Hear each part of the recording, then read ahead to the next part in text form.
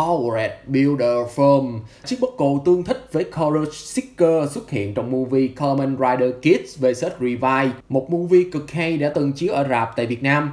Sức mạnh của Courage Seeker cũng giống như những rider khác có được nhà đầu tư của bản thân, là một rider mới nhưng tên Seeker này lại có được một chiếc buckle riêng, một chiếc buckle biến anh ta trở thành một thợ công trường chân chính chứ thay vì bóp pha có lẽ đây mới thực sự là buckle tương thích với buffa pha chứ không phải là chiếc zombie tạo hình đúng màu công trường khi thể hiện những chiếc clay trên khắp cơ thể của anh những bàn tay máy móc và những chi tiết kim loại giống như những phơm khác kèm với đó là một màu vàng đặc trưng như những chiếc nón của những công nhân tại công trường. Sức mạnh của Powered Builder được kết hợp cùng với ba vật phẩm trên một bộ phận nhỏ trong Powered Buckle. Nó giống với hình dạng của một Rare Buckle nhưng mang trong mình ba vũ khí. Trong trường hợp của hình dạng Powered Builder, Kiss lại yếu hơn Rider sử dụng trước đó là Common Rider Seeker vì hắn ta còn hấp thụ sức mạnh của ác ma mạnh nhất trong gia đình Igarashi, nên sức mạnh của hắn sẽ vượt trội hơn so với Kiss. Cho dù anh có kết hợp Powered Builder cùng với Boot Buckle thì anh vẫn không thể nào so sánh được với hắn.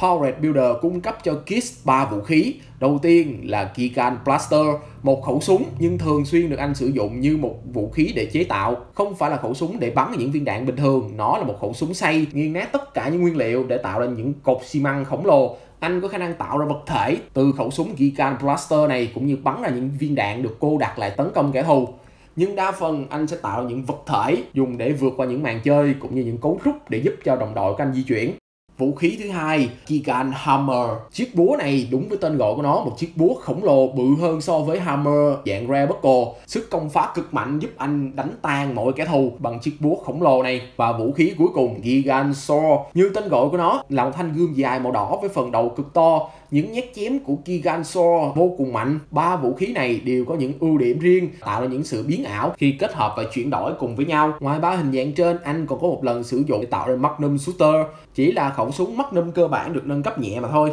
Đòn tất sát của anh là Gigant Strike. Anh sẽ phải kết hợp cùng với Push Buckle và sử dụng vũ khí là chiếc Gigant Sword. Những chiếc tay máy của anh sẽ quá khổng lồ. Chúng nhất thành gươm Gigant Sword ở trạng thái năng lượng một cây kiếm đúng với tên gọi khổng lồ của nó sức mạnh từ hai bàn tay máy nâng một thanh gươm khổng lồ dán nhát chém cực mạnh vào hướng của tên Yamato và tiêu diệt hắn không chừa là một mảnh vỡ nào